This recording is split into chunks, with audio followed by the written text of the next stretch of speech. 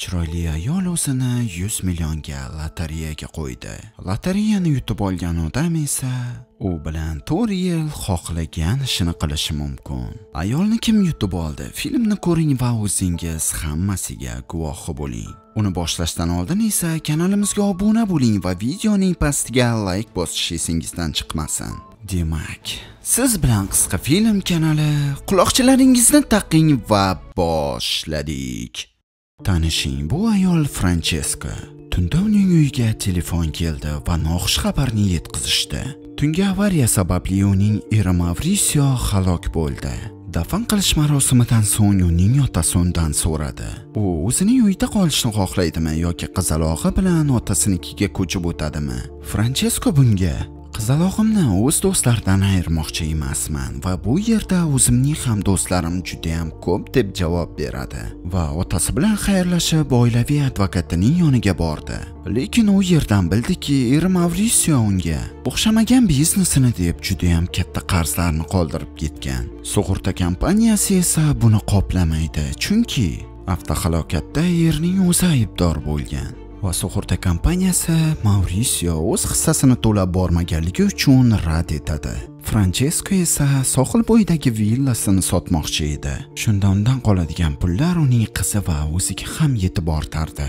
Lekin advokat aytdiki, u sotmoqchi bo'lgan uy bankning nomida va Franchesko sotmoqchi bo'lgan mashina va yaxta ham yerning qarzlarini umuman qoplay olmaydi. Qiz uydan hamma mebellarni sotib yubordi va dugonalarni chaqirib ularga hamma qimmatbaho narsalarni sotishini aytadi. Tunda esa auksionda u bir ayol bilan ko'rishadi.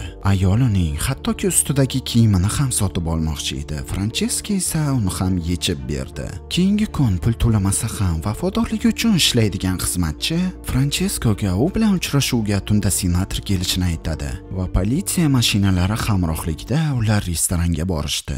Stol bo'yida o'tirib senator xotini va bolalari bo'lishiga qaramasdan unga umr yo'ldoshi bo'lishni taklif qiladi. Senatorning gaplariga ko'ra agarda unga tegsa qizning hamma muammolarini hal qiladi va bir qancha xarajatlarning hammasini ham o'zi qoplaydi va hattoki mashinasiga migalka ham qo'yib beradi. Francheska esa bunga javoban hattoki mashinam ham yo'q dedi. Keyingi kuni esa bechora qizga o'zi yashab turgan uydan chiqishni ham aytishadi. Chunki eri yarim yildan beri hattoki ijarani ham to'lamagan edi. Francheska esa ozgina kutishini so'rab qarzlarimni albatta to'layman deydi. Keyin esa u yana bir erkak bilan ko'rishdi lekin u erkak unga qalbaki taqinchoqni sovg'a qildi.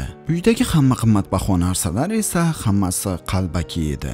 Rasm ortida turgan erkakning tishlarini ko'rib stakanning ichiga qiz sovg'a qilingan qalbaki taqinchoqni tiqib u yerdan chiqib ketadi. Keyin esa u hammasini o'z dugonalariga aytib berdi. U yerda esa franchesko karl degan dugonasining garderobida auksionda sotilgan o'zining shubasini ko'rib qoldi. Lekin dugonasi auksionga bormagan edi. Ular chiqib ketishgandan so'ng ikkinchi dugonasi unga aytib qoldi. Karla auksionga bormagan lekin u yerga uning yeri borib bu shubani sotib olgan. Keyingi kuni esa u dugonasining yeri sandra bilan ko'rishdi.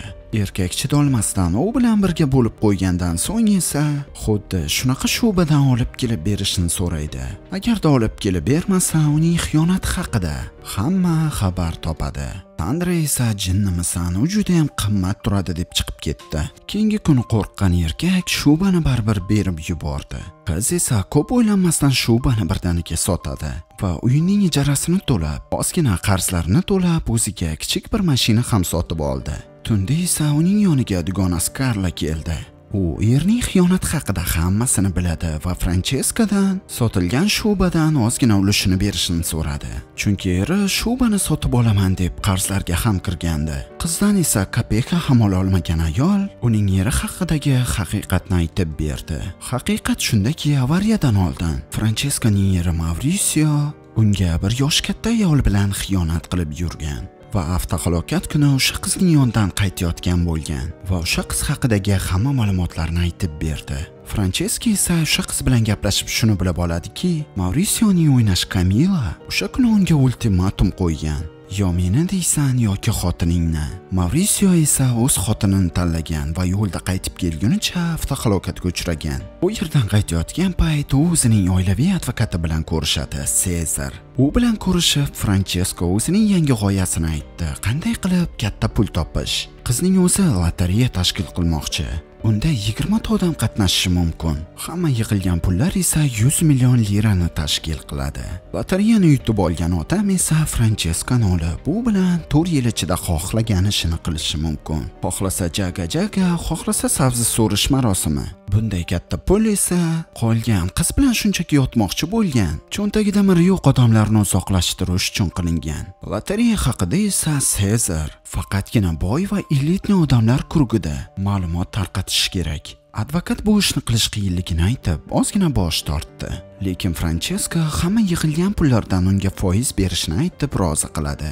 Uyga kelgan qiz shuni bildiki uning qizalog'iga yevgeniy degan dugonasi lotereya o'yinchog'ini sovg'a qilgan. Tinchlikmikan deb ertasi kuni dugonasi bilan ko'rishgan qiz shuni bildiki dugonasining eri gustava uning lotereyalarda ishtirok etish uchun bilet sotib olgan. Dugonasi esa bundan albatta xafa edi. Shuning uchun ham qiz dugonasining erining yoniga keldi va undan erning haqqi hurmati lotereyada qatnashmasligini so'raydi. Bunga javoban esa gustava unga shunday dedi. Lotereyada qatnashmoqchi bo'lgan erkaklarning hammasi uning erining do'stlari bo'lgan chunki ular oldindan qizni xohlab kelishardi Turlarning birida qiz o'zining erining o'ynashi Kamilani ko'rib qoladi va undan shuni bildiki, qizga erishish uchun hattoki u ham bilet sotib olibdi. Bu shunchaki yerga urush bo'lganmi yoki u qiz bilan nimadirlar qilmoqchi bo'lganmi, to'g'risi o'zim ham tushunmadim. dugonasi sabzi qoqishidan qo'rqdimi? Buni eshitgan qiz sezar advokatning yoniga keladi va lotereyani bekor qilib hamma qatnashuvchilarga o'z pulini qaytarib berishini so'raydi. Lekin advokatning so'zlariga ko'ra o'yinni rad qilishning iloji yo'q. Lekin buning birgina yo'li bor. Lotereyani uning o'zi yutib olsa uni hamma muammolardan va qatnashuvchilardan ozod qilishi mumkin. Qiz hammasiga rozi bo'ladi lekin shu paytda ichkaridan sezarning yalang'och o'ynashi chiqib qoldi va franchesko ish boshlanmasdan u yerdan chiqib ketdi. Essiz advokat so'laga oqib ishini bitira olmay qoldi. Keyingi kuni franchesko o'z qizalog'ini maktabga olib borayotgandi lekin uydan chiqish oldi bir erkakni urib yuboradi. Uni uyga olib kirdi va o'z xizmatchisiga qizini maktabga olib borib qo'yishini buyurdi. Yigitning esa burunlariga teginib yana nima qilib davolasa bo'larkin deydi. Yigitcha esa yotib oldi va uning yuziga o'tirib davolab qo'yishini so'radi. Qiziq singan burunni shu usul bilan ham davolasa bo'larkan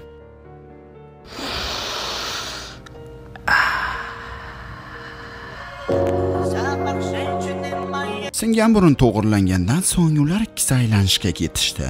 Bu paytda uyga kelgan ishchi esa polda pastga taqiladigan maskasini topib oldi. Ikki yosh aylanishdan kelishgandan so'ng esa yigitcha ular ikki soat oldingina tanishganlariga qaramasdan unga sevgi izhor qildi. Maskaning ta'mi yoqdimi bilmadim. Yigitcha u bilan yana uchrashishni xohlaydi. Lekin unda qizning hattoki telefon raqami ham yo'q. Bunga javoban qiz unga o'zim telefon qilaman deydi. Lekin unda ham yigitchaning raqami yo'q edi. Tunda franchesko yana o'sha filmning boshidagi senator bilan ko'rishdi. U esa lotereyada qatnashdan bosh tortganini aytadi. Chunki u o'zining holati va karyerasidan qo'rqardi. Ma'lum bo'ldiki bu restoranda antonio ham bor ekan. U qizni kuzatib kelgan. Yigitcha ularning yoniga o'tirib olib o'zini francheskoning o'ynashi deb tanishtirdi. Bu esa senatorning jahlini chiqarib yuboradi va u o'zini shunchaki qiz tomonidan foydalanilgan odamdek his qildi va yigitchani yaqasidan ushlab restorandan olib chiqib tashladi va qiz yugurib kelib yigitchaning yana burni singanligini ko'radi. Antonio qizni uyigacha kuzatib qo'yadi va uyning eshiklari ochilishi bilan ichkariga kirib qizni devorga bosib undan bo'sa oldi. Keyingi kuni esa navbatdagi lotereya qatnashchilariga o'zini ko'rgazma qilib kelgan qiz uyga kelganda antonioni qizchasi bilan o'ynab turganini ko'radi. Va gapga kirmas bolani spalnisiga olib o'tib yaxshigina ustiga chiqib to'ydirib qo'ydi. Ertalab esa uydan chiqib ketayotgan payti qiz unga endi boshqa ko'risha olmasliklarini aytadi. Chunki bugun lotereya kuni edi. Bunga javoban yigit to'rt yildan keyindir balki dedi. Buni eshitgan qiz esa u lotereya haqida hammasini bilganligi va hammasini bilib turib uning mashinasining tagiga o'zini tashlagan bo'lishi mumkin deb o'ylab qoldi. Bu paytda esa prokuratura lotereya haqida hammasini bilib qoldi.